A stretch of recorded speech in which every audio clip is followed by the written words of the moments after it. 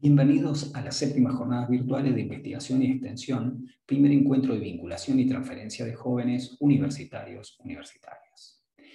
Me presento, soy Luis Albrecht, ingeniero químico, y soy parte del equipo del proyecto de investigación Valoración de residuos generados en planta de empaque de cebolla mediante biotecnologías limpias y su aplicación para la recuperación de suelos hortícolas degradados y salinizados en la región protegida Patagonia Sur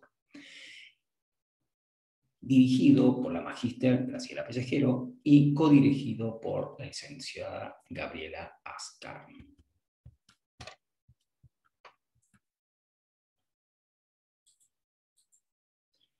La producción de biogás y bioabonos a partir de residuos de cebolla y estiércol porcino en el valle inferior de Río.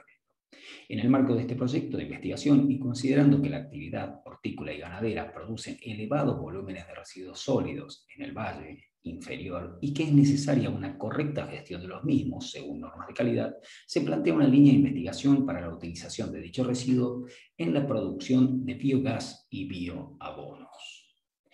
Se considera esta producción, la de biogás y bioabono, una vía ecológica y económica para el aprovechamiento de dichos residuos.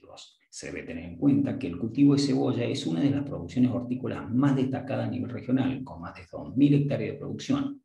el acondicionamiento de esta producción para su comercialización en las plantas procesadoras produce residuos que deben manejarse según normas de calidad.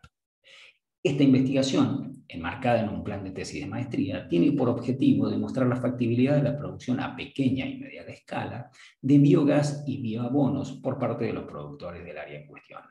El objetivo general es comprobar la viabilidad técnica y económica de la reutilización de los desechos orgánicos que se generan anualmente en la zona rural, cumpliendo con las normas de buenas prácticas de manufactura y asegurando el correcto tratamiento de. La hipótesis planteada es si la producción de biogás es una alternativa viable para degradar en codigestión residuos de cebolla formadas por catáfilas, raíces, hojas secas y bulbo de descarte, y los purines de cerdo obteniendo como producto final metano y biofertilizante en cantidad y calidad suficiente para que tengan factibilidad económica. Para ello se plantea realizar una búsqueda bibliográfica sobre el estado actual de biogás en Argentina y el mundo y ensayar y evaluar a pequeña escala la codigestión de los residuos de cebolla en la mezcla con los purines de cerdo,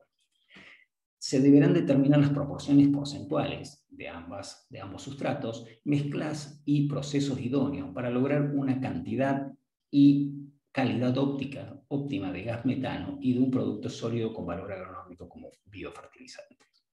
Los parámetros a tener en cuenta en este estudio son la materia prima, aspectos generales de los sustratos, contenidos de carbón, hidrógeno, oxígeno y nitrógeno, así como de fósforo y amonio, la temperatura del sustrato y su influencia en la producción, velocidad de carga volumétrica, tiempos de retención, valores de acidez, contenidos de sólidos, inclusión de inoculantes, agitación mezclados, inhibidores. El diseño experimental de esta investigación consistirá en diferentes tratamientos con las repeticiones necesarias para el posterior análisis estadístico de los datos recabados. Muchas gracias.